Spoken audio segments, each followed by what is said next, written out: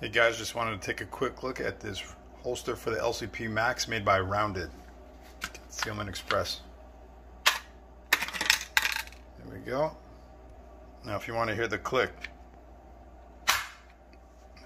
Nice.